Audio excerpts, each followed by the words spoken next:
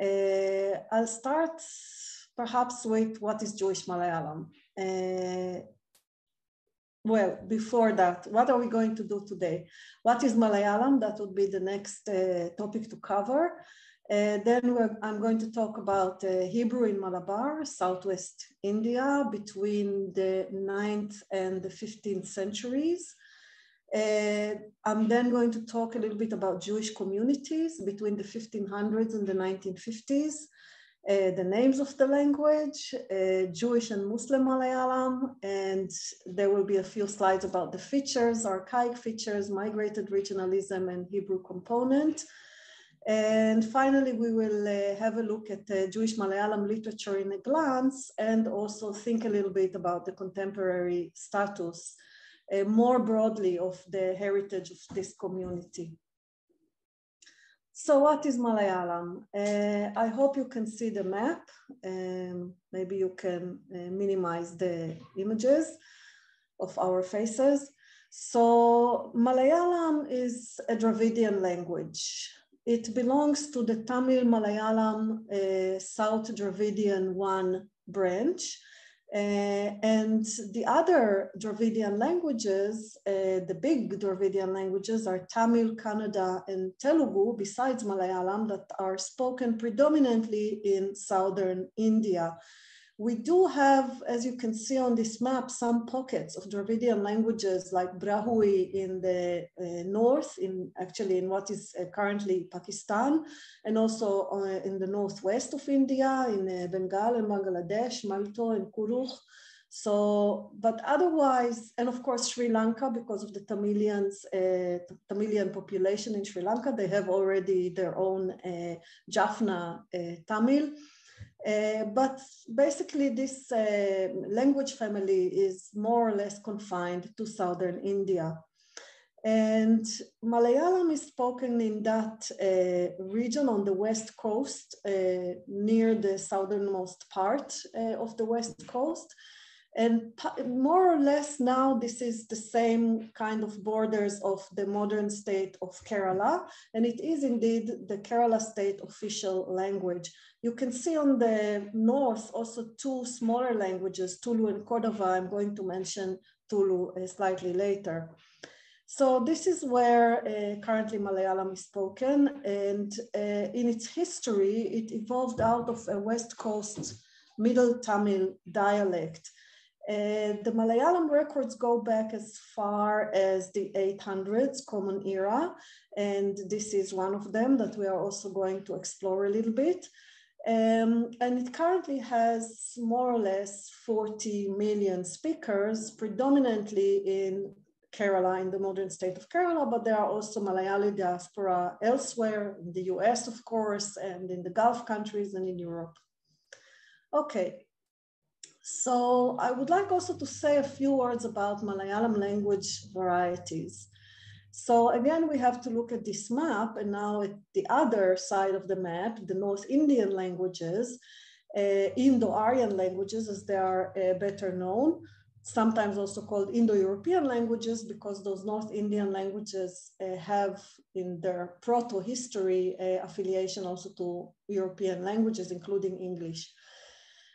Uh, so Malayalam and other Dravidian languages were in contact uh, with those Indo-Aryan languages for over three, four millennia even.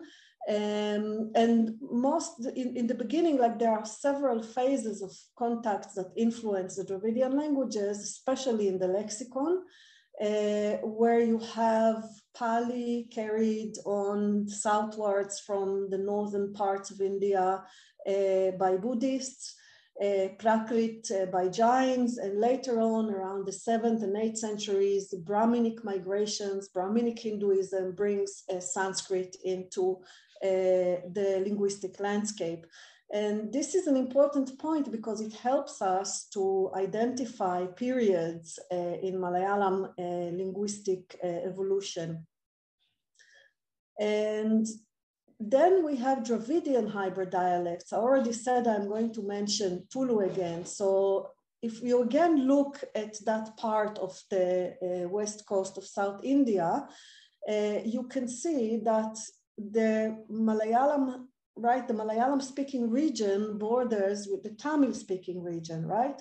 So in the borderlines, in the border regions, uh, there are those Tamil Malayalam language hybrids, whereas at the north, you have Tulu and Kodava language hybrids, mainly Tulu, but sometimes also Kodava uh, influences the Malayalam speech. And this is important because, as you will shortly see, uh, Jewish contacts in the region uh, were very strong in that area, and that is visible in uh, Jewish Malayalam. And religiolects, I guess you already encountered this lovely term. Uh, so we have in Kerala Arabic Malayalam, and Arabic Malayalam is uh, written in the Arabic script, as you can see here. If anybody here can read Arabic, maybe you can see, you know, the first word there is Ishal. It's not Arabic. Uh, it is actually a Malayalam Tamil word, Ishal. So Arabic Malayalam is written in the Arabic script and the earliest compositions uh, that we know of are from the early 17th century. We have also Syriac Malayalam associated, of course, with the Christian communities of the region. This is a page from a manuscript uh, that my colleague Istvan Perczel collected in Kerala. Uh, and this is the Syriac script that just like Arabic Malayalam, they use those Semitic scripts uh, playing with the letters, with the dots, with the directions in different way to represent the Malayalam language. So again, Syriac script predominantly with some letters uh, adjusted to Malayalam. Syriac Malayalam, uh, the earliest documents are from late 17th, uh, early 18th century. And Jewish Malayalam, so that's the religious religiolect we are going to talk about. Jewish Malayalam was not written in the Hebrew script, as you can see here. This is an example of a song notebook from Kochi. It was written in the Malayalam script. But here's an interesting thing because once you start looking into the songs that were transmitted in those notebooks, it's pretty clear that the oldest layers of this literature is from the 15th century. So even though Jewish Malayalam is not written in the Hebrew script, in fact, the literature in Jewish Malayalam predates both Arabic Malayalam and Syriac Malayalam by uh, two, three centuries. And this is a, a, a, very interesting thing that needs to be uh, explored. Okay. Uh, so we need to talk a little bit about Jewish history in Kerala. Uh, Jewish history in Kerala is inseparable from Indian Ocean trade routes between uh, the 800s and the 1500s. Uh, this is a map of the trade routes and the contacts uh, of Jews with the southern, uh, southwestern coast of India probably started in Persia.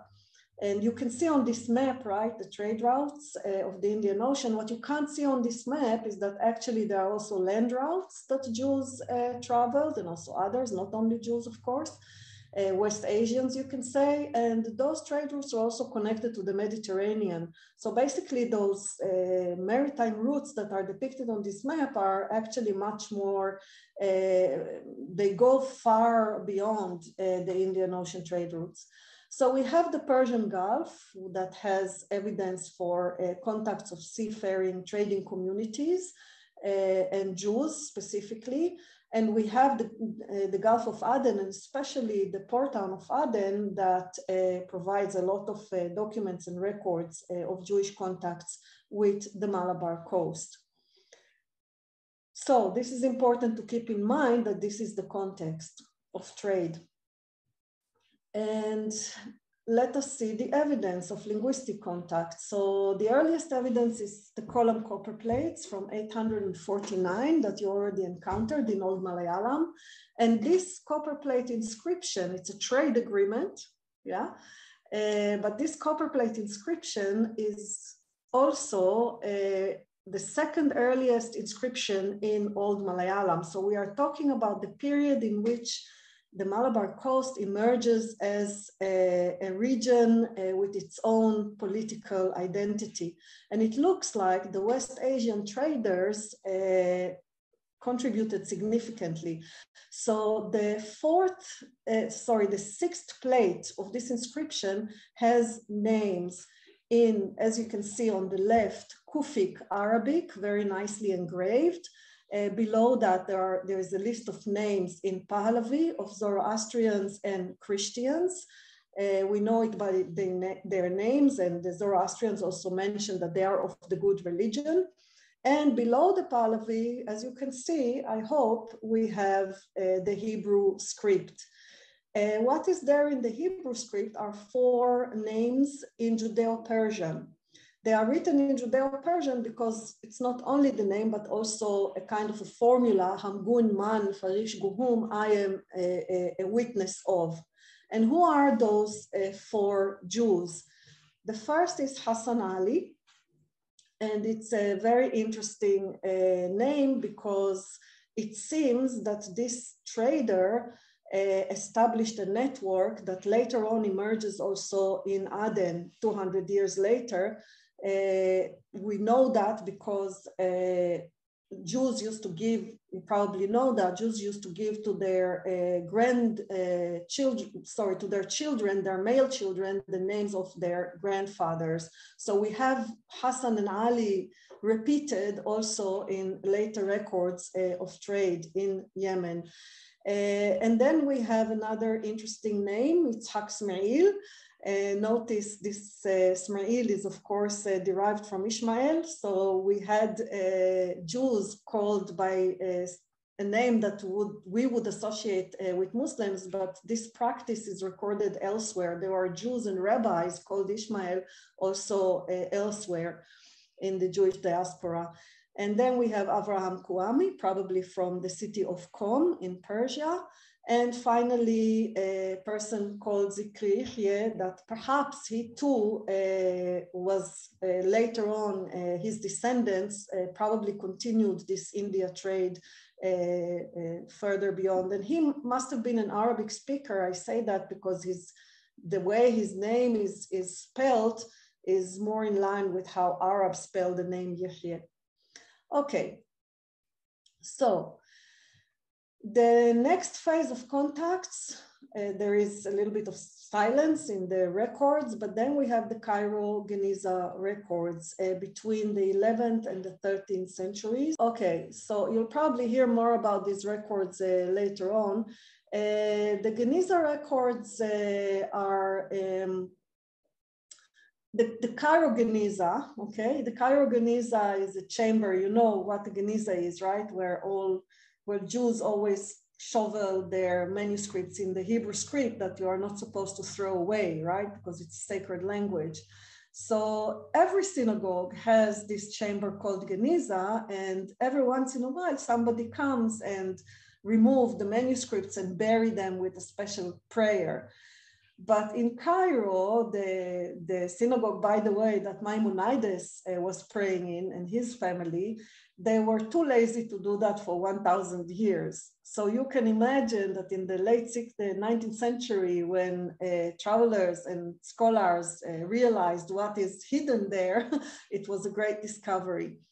So among the, the huge amounts of records are there, there are old Bibles or old, you know, liturgical poetries and texts that were lost to the Jewish world and found, you know, rediscovered in the Cairo Geniza. There are also a lot of daily documents, daily life documents like divorce documents, legal documents, etc., etc. So within this huge Cairo Geniza, they also found uh, Judeo-Arabic uh, letters exchanged between India traders that lived in the Mediterranean, in Egypt, in Aden, and in the Malabar coast.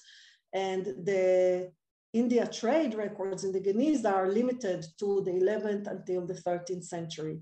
So what do we have there are business and personal letters, uh, predominantly in Judeo-Arabic. Uh, you can read about it on, it's called the India book uh, by Shlomo Dov Goitein and Mordechai Akiva Friedman, a very impressive work that is trying to reconstruct the lives of those India traders. And uh, in those records, we can see Arab, Persian, and their Jewish partners. Okay, so this was a very tolerant and even liberal uh, atmosphere of uh, exchange and contacts and partnerships. And it is, of course, reflected in a lot of uh, Arab and Persian documents from uh, that period. For example, this example is this wonderful book uh, called Makamat al-Hariri, an adventure of travelers uh, from the, I think, 12th or 13th centuries, in which you have this lovely image of an Indian Ocean ship. And we can imagine, right, that the travelers at that time uh, that probably looked like that. We know also from the documents that the, this image is, is a nice reflection uh, of what we see in the document, documents where on the dock, the, the navigator and the sailors and the seafarers are Indians and Africans. You can see even a small Shiva temple on the dock. And below the dock, there are the Persian and Arab traders, and probably among them, there were quite a few Jews. So uh, what we have, uh, which is important in those records, uh, is that you can see the uh, intensified contacts between Malayalam and Judeo-Arabic. And there are quite a few Malayalam words in uh, those records. Also important is that we have evidence in those records uh, of intermarriages between Jewish traders and local women. And you have to understand that the way this international trade worked in that period is uh, alliances between uh, West Asian traders, Muslims, and others coming from patrilineal uh, societies. And the coastal communities of the Indian Oceans, as far as Indonesia and also in Africa, were matrilineal. So it was a nice kind of combination in which a trader that comes and goes could have a family in the region and be a part of a household and have kinship networks within the region because that helped them secure bilingual children, which were uh, indispensable in uh, conducting the trade business and the networks. And this practice is also um, attested to in uh, later records from the Portuguese and the Dutch who encouraged their sailors to do what the Muslim do and marry local women in order to have bilingual children. And of course, for Jews, this is a little bit of uh, something that we don't really want to acknowledge.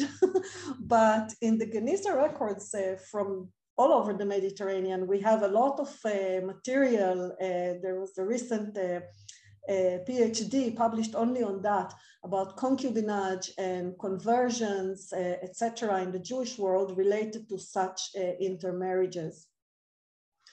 And we have evidence for that in this lovely document sent from uh, Aden to the Malabar coast, in which uh, a name uh, is mentioned of one of the trading partners, Ishak El Banyan, uh, we can translate it as Isaac the Banya, and Banya is an Indian merchant. So we have a Semitic name, probably a Muslim, because if, it, if he were a Jew, probably they would have, would have written his name Itzhak and not Ishak.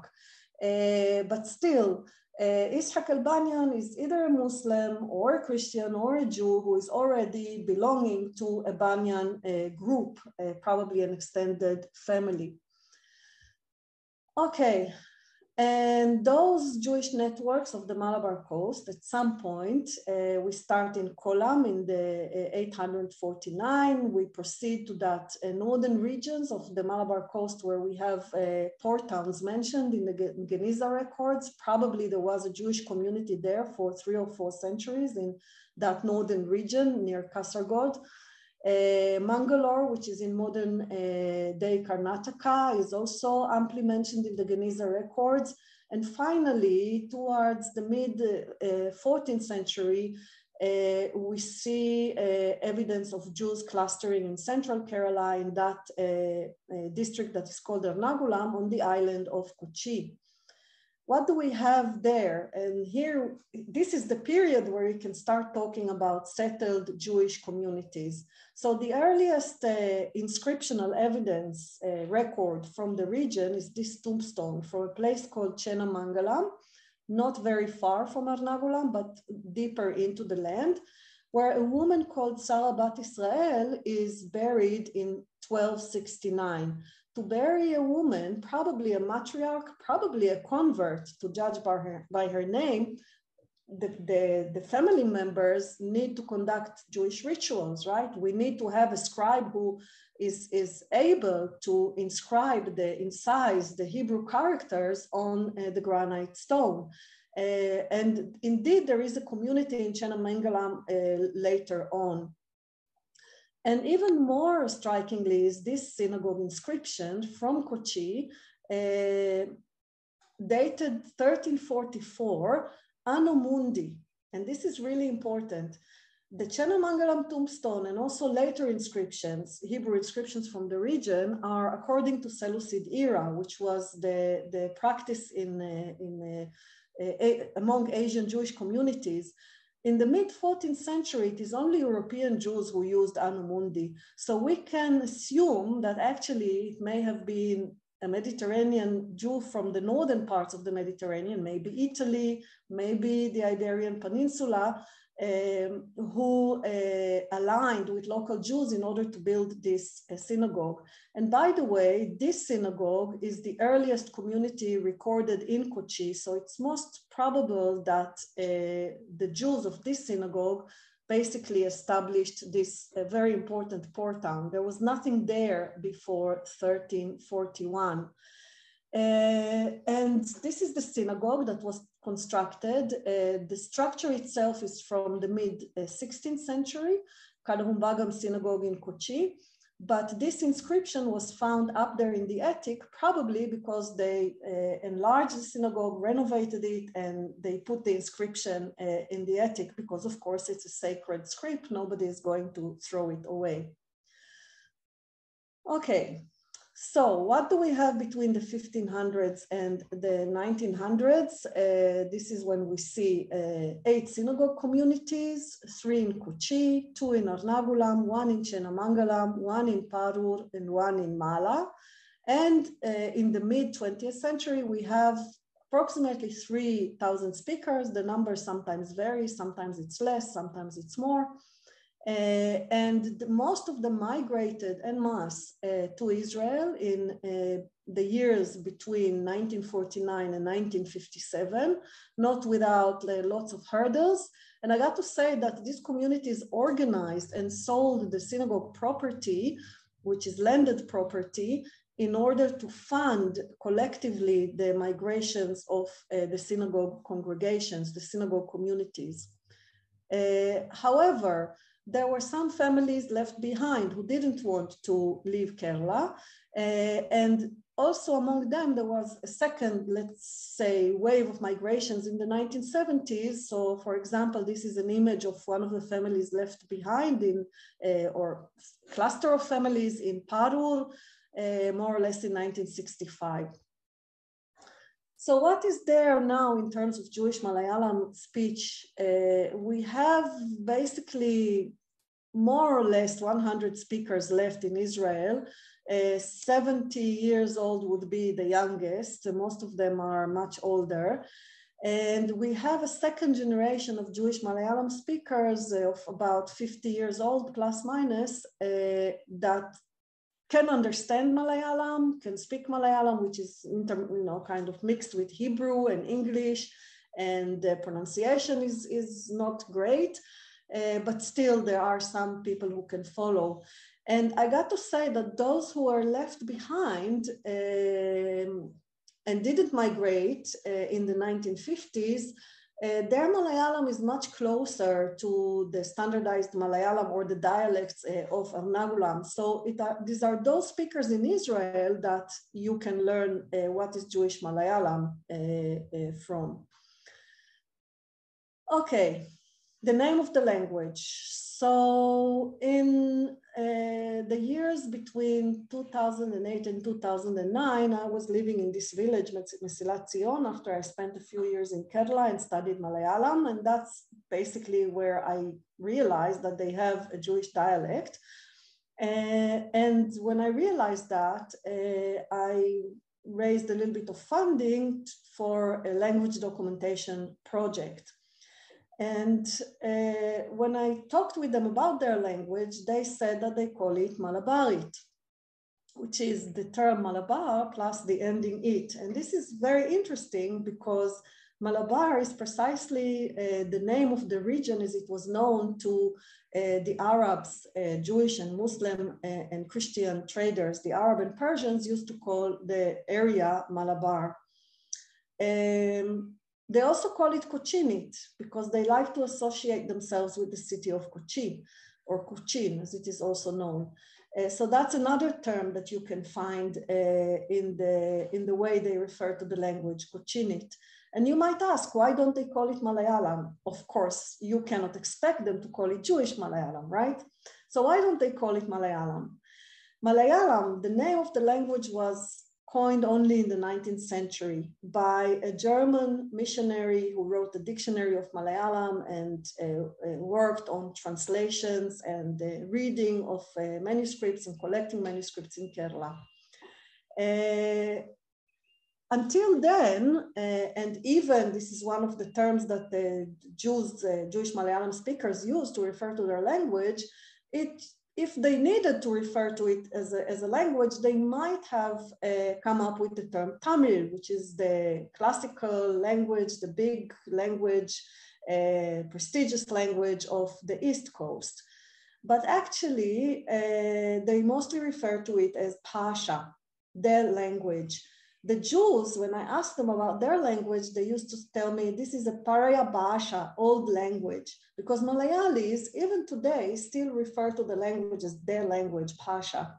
That might seem odd, perhaps, but actually, we have to ask ourselves when does a language uh, receive a name? That is actually the, the curious thing because speakers normally don't come up with a special term for their language unless they have to.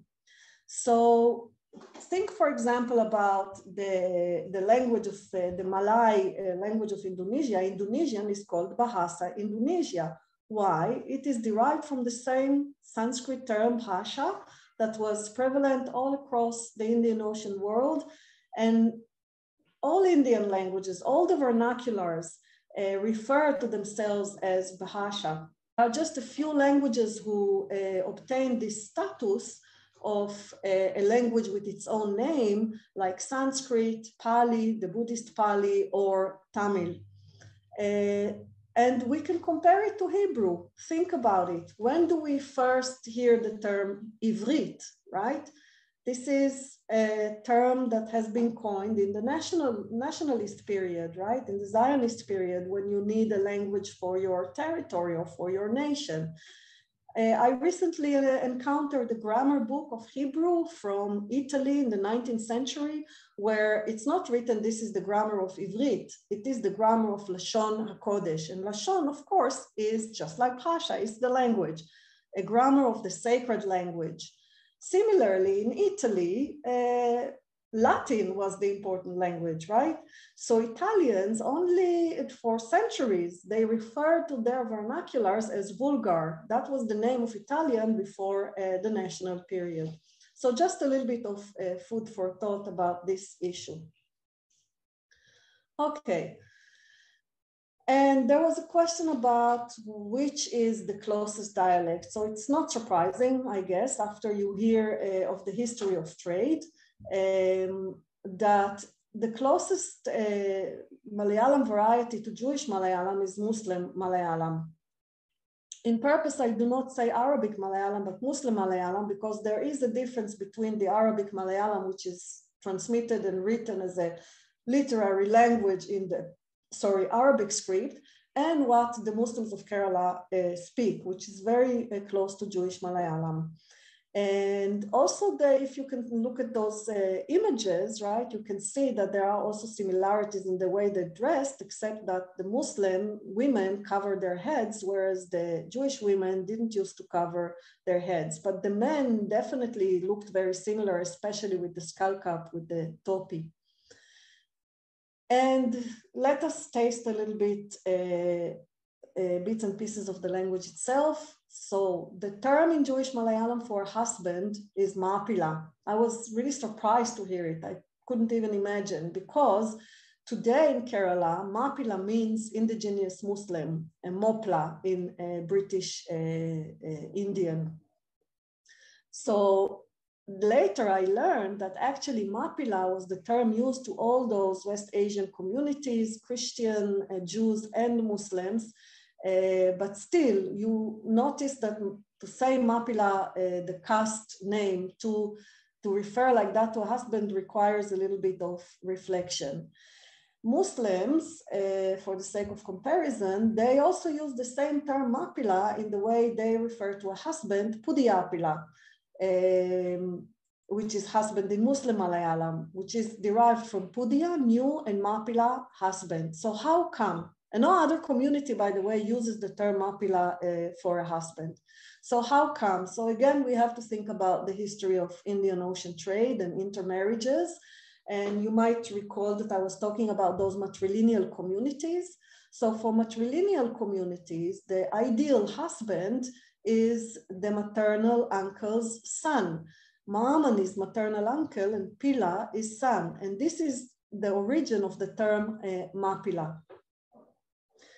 And the language, uh, the archaic features of the language, this is really useful in uh, constructing the history of this community. Uh, we have, again, similarities with Muslim Malayalam. We have the dative ending ike. The dative en uh, ending ike in uh, modern new Malayalam uh, actually is not used with words ending in an, male words ending in an, like avan.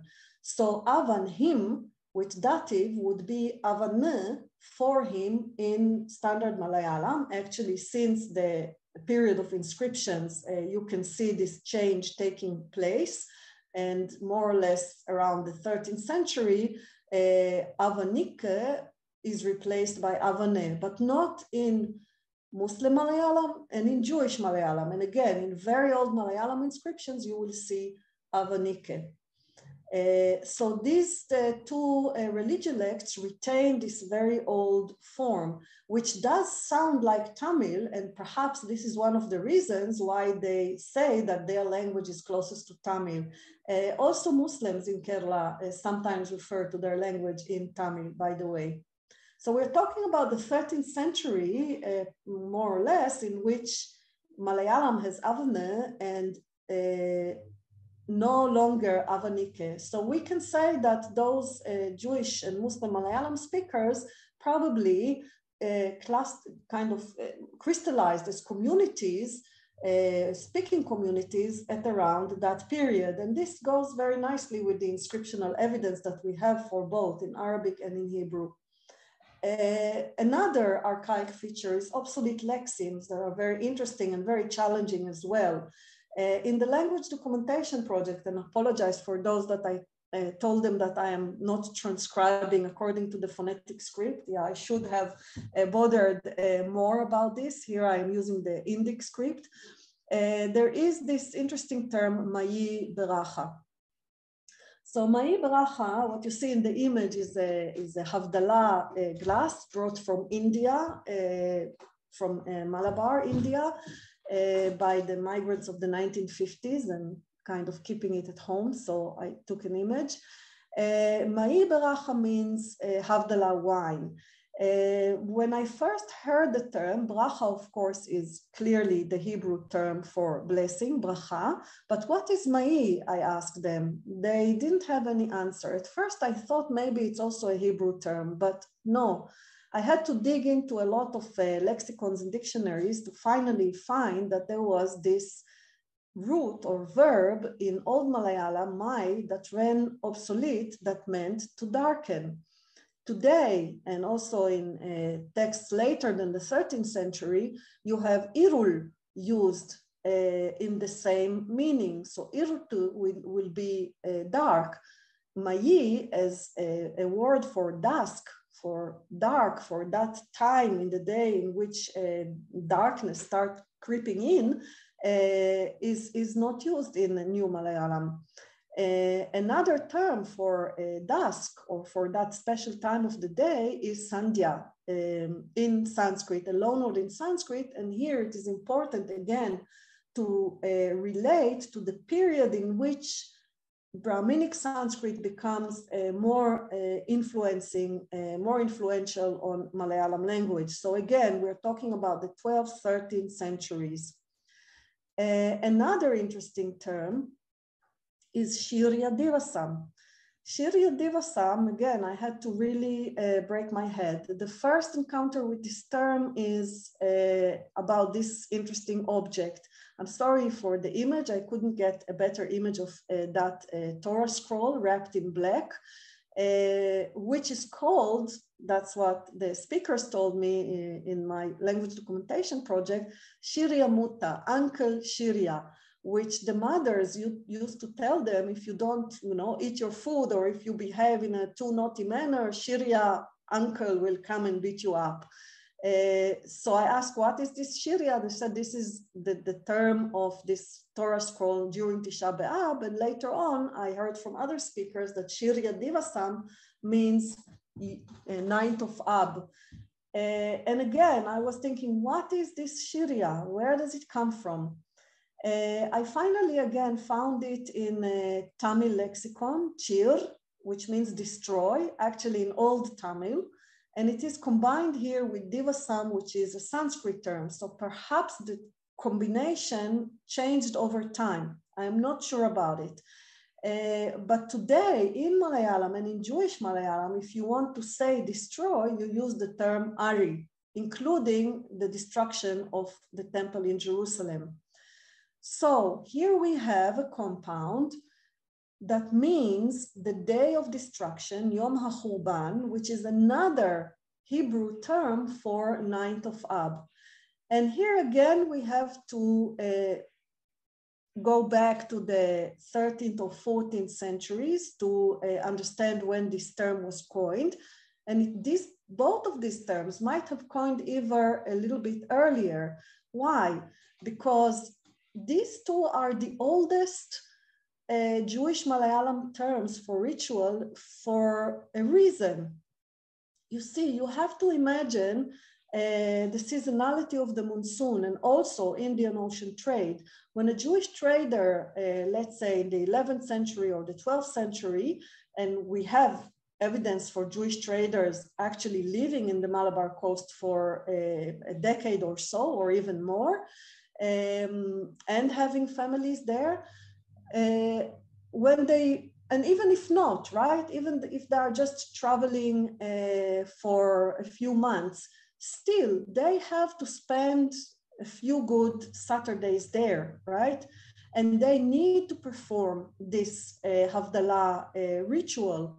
And we do have evidence in the Geniza for traders uh, in the Malabar coast asking for raisins, uh, wheat and paper to be sent to them from Aden for doing those mitzvahs.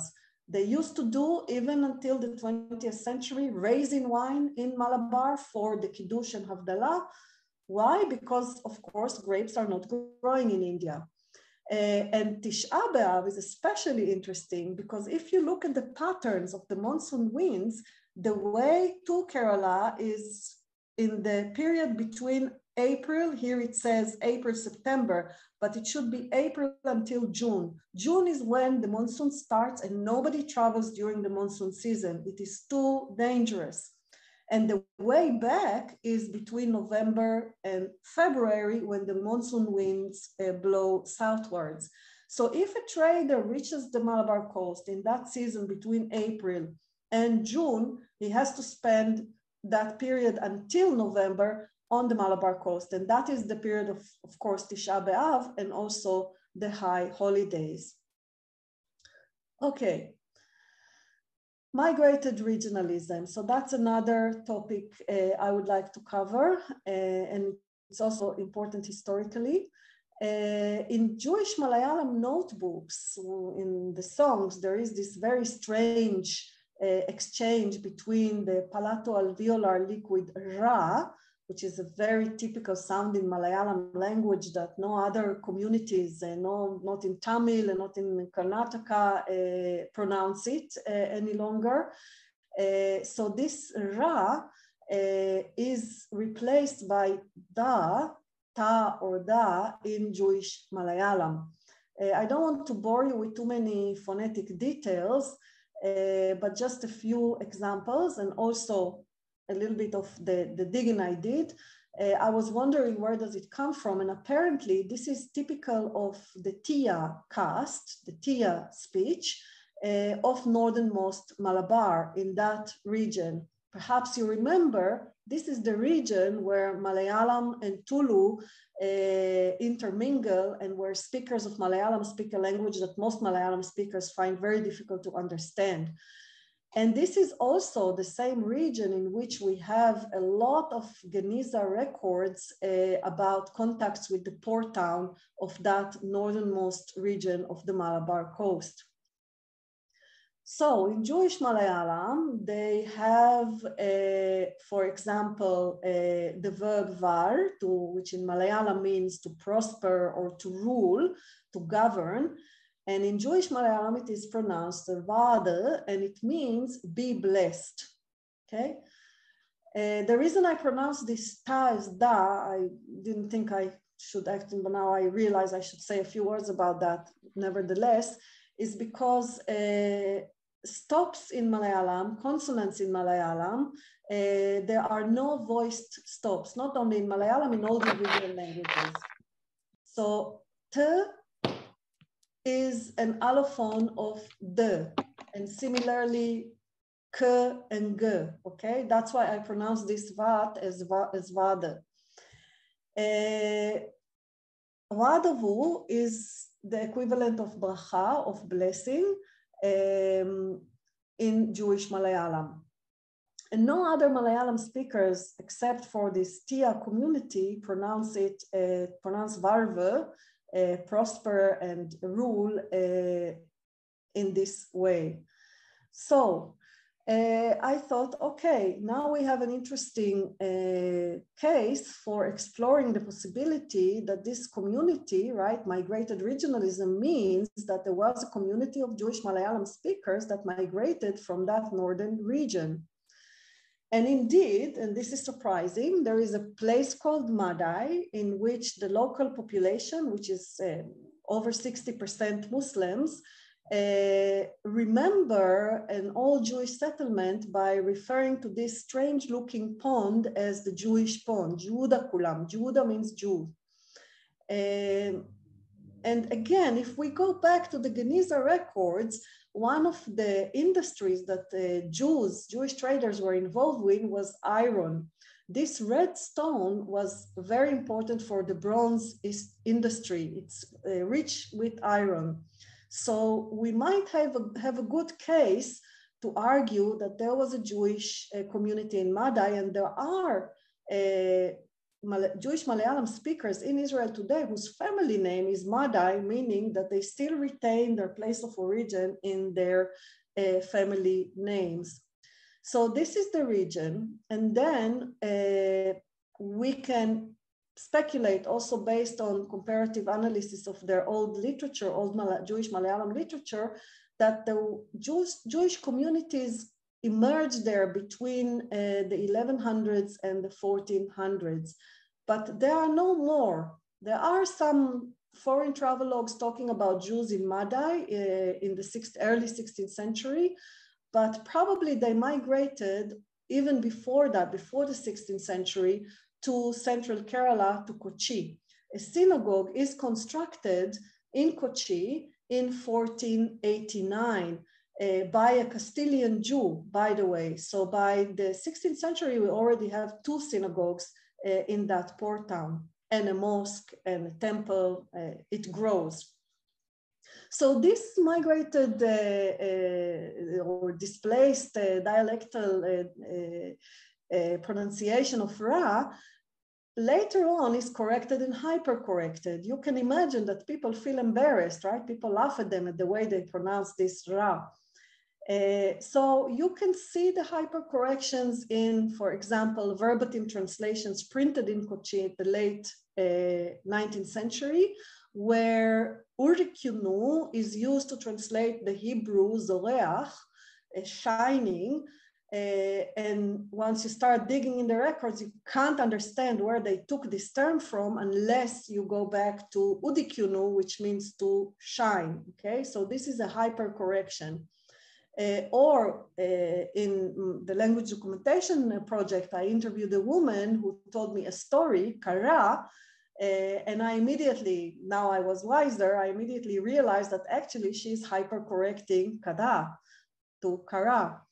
And so we can say that between the late 19th century and even as, as late as the early 21st century, the process of correcting and hypercorrecting this migrated regional uh, feature was still uh, going on.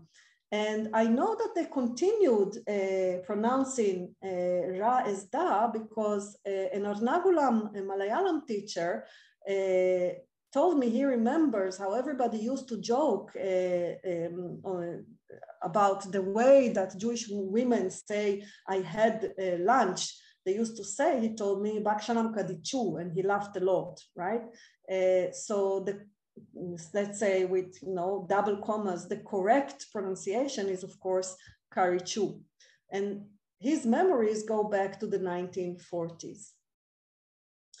Okay, the Hebrew component, I hope I'm not taking too much time. Oh gosh, I forgot to put the stopwatch. So the Hebrew component, uh, this is an image from Thekkumbhagam Kochi Synagogue, uh, more or less in the 1950s. Uh, the Hebrew component uh, is used with auxiliary verbs. There are different types of Hebrew components uh, incorporated into, uh, integrated into Malayalam. Uh, and I'm just giving examples of those that were used before the migration to Israel. So for example, shalom ai, shalom means became shalom, that is died, uh, and ai is the verb to become.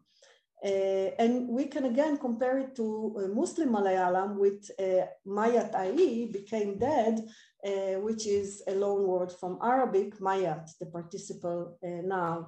We have Sarapetu, uh, fell in trouble. So peduga, the verb peduga can also be used to uh, compound uh, verbs based on um, uh, loan words. Sara is from the Hebrew tzara, fell in trouble, and we can compare it to a similar uh, compound with the Sanskrit loan word kashtam, kashtapetu. This is how Malayalis would say uh, fell in trouble or uh, experienced difficulty.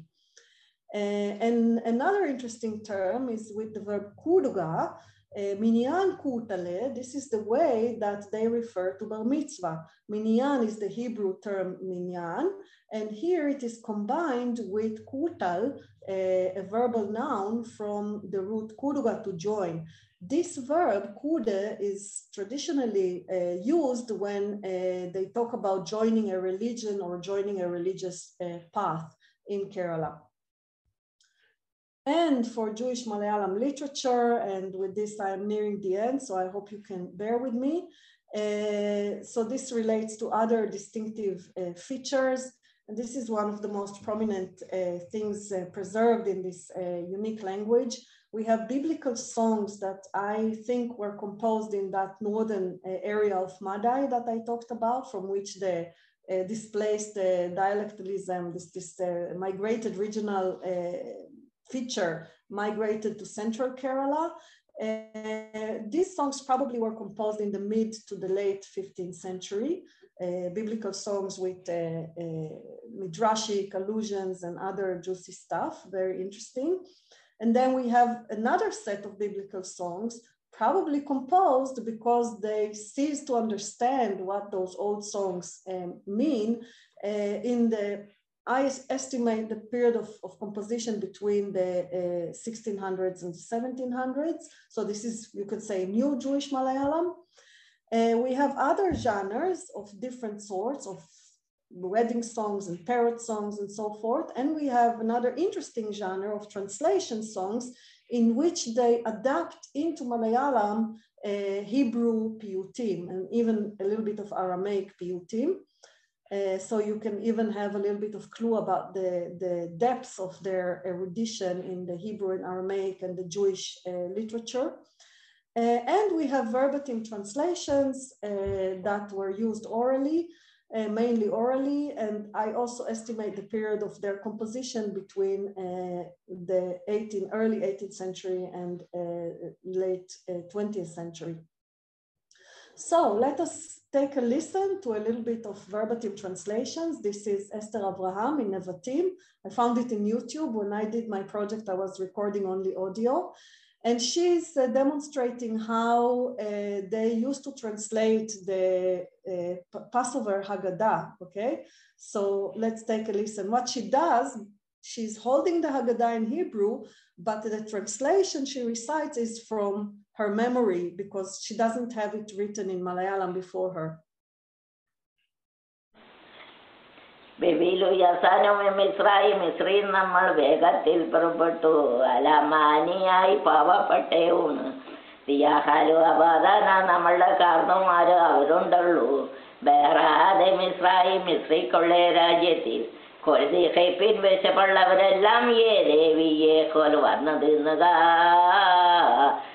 Okay, I'll stop it here. Uh, you probably don't really manage to differentiate between what is Hebrew and what is Malayalam because, of course, her pronunciation of Hebrew uh, is uh, already Malayalamized. But once you, you get your ear trained, you can differentiate. So it's a phrase in Hebrew and a phrase in Malayalam, a very interesting translation with some very old Malayalam forms.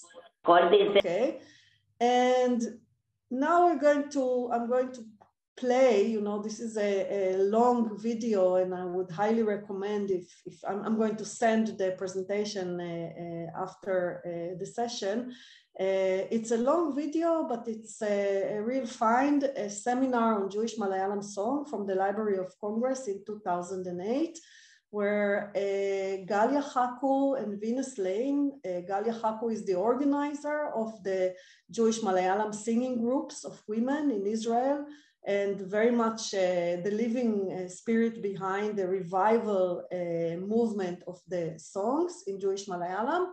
And Venus Lane is one of the singers and a very lovely lady. So I would like you to hear them sing and also talk a little bit about how they uh, try to preserve their linguistic and literary heritage. And Scaria Zacharia, who uh, passed away a few months ago, and he was my Malayalam teacher, and was very exciting for me to find this video and see him speak about the Jewish Malayalam song. So let us take a listen uh, a little bit.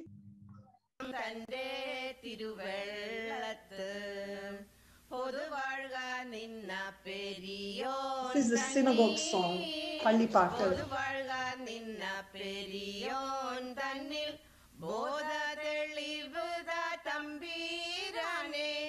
ஓமன பள்ளியில் நுஸ்கா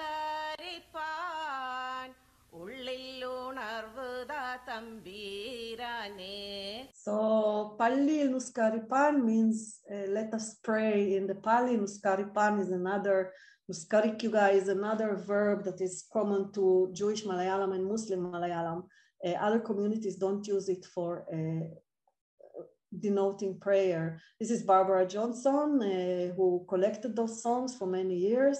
And now let us take a listen to a few seconds of Galia talking about her project.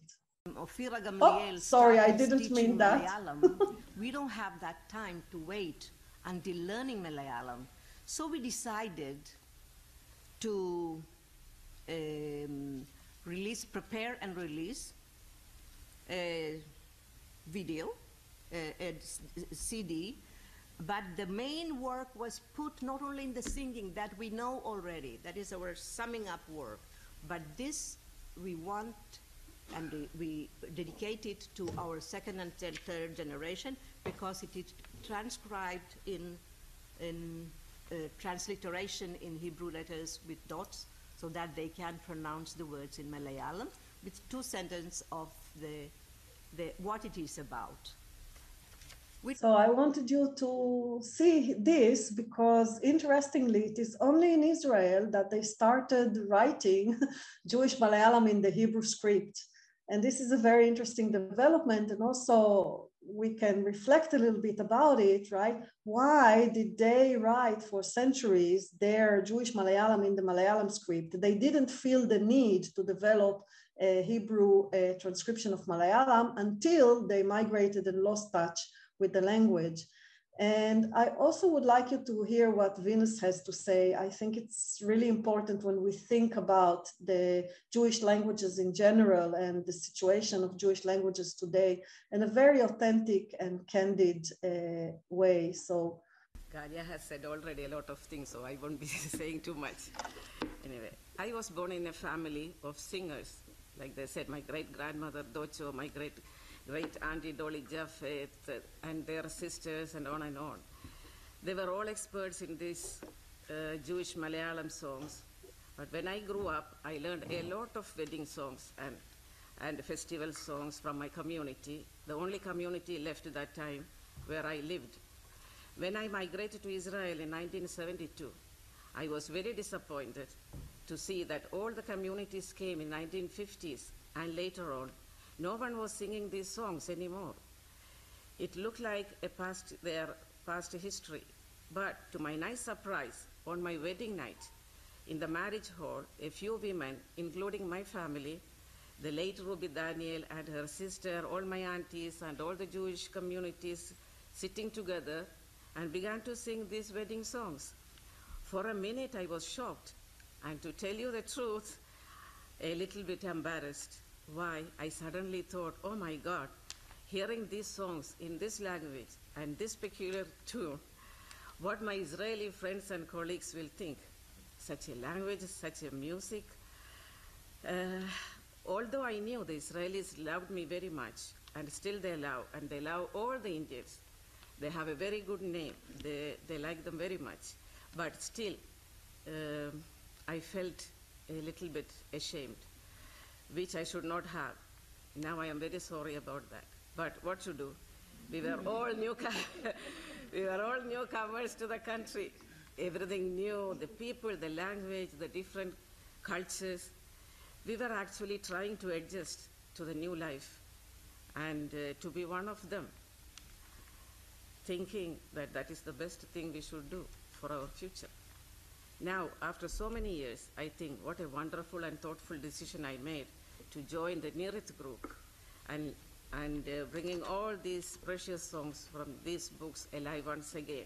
It's thanks to Galia, I am proud of her. Mm.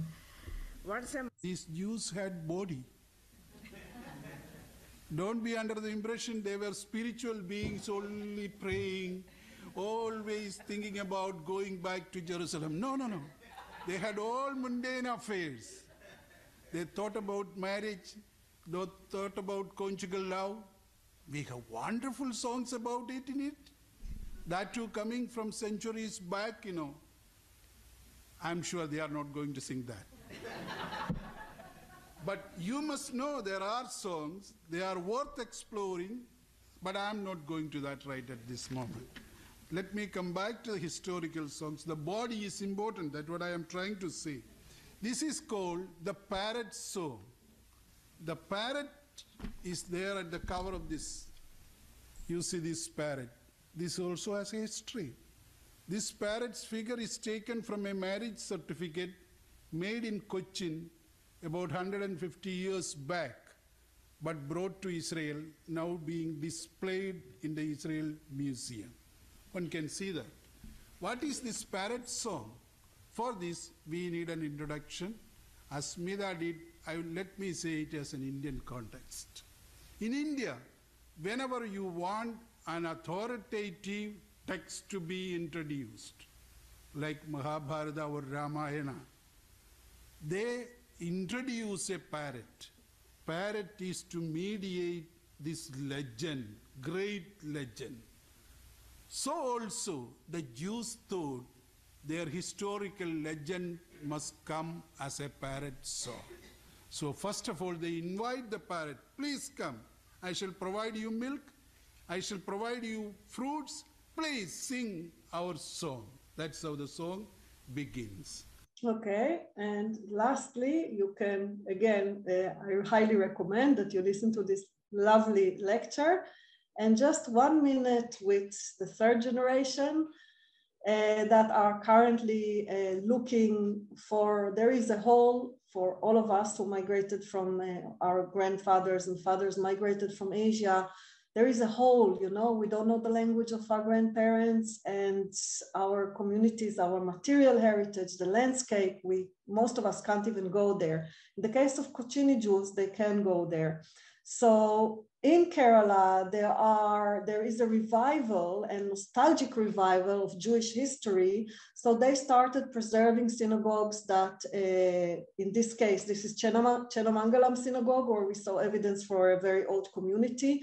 So you can see the bits and pieces of what used to be the inner furnishings of the synagogue. They try to preserve it. They make a museum out of it. And uh, in Israel, uh, there's a lovely artist that I also work with, Meidad Eliyahu, who is reflecting that kind of bits and pieces of their old material heritage in his art. And he's presenting in the Kochi Biennale. So just one, uh, in one minute, how he and a Muslim calligrapher who knows Hebrew uh, did this project in the Kochi Biennale. And it, with that, we will finish. It's all about being public with the subject of memory and the cultural dialogue Jewish had here in Kerala. The lines are from the Jewish Malayalam songs that they are writing, inscribing, and of course the parrot.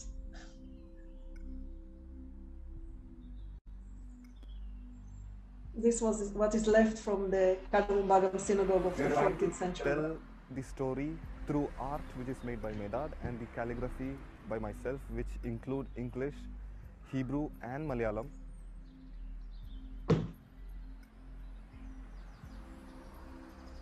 This project have a lot of, I won't say responsibility, but commitment to, to the history. I also feel that sometimes I, I need to bring my, in many cases in this project, I need to bring, bring my own perspective.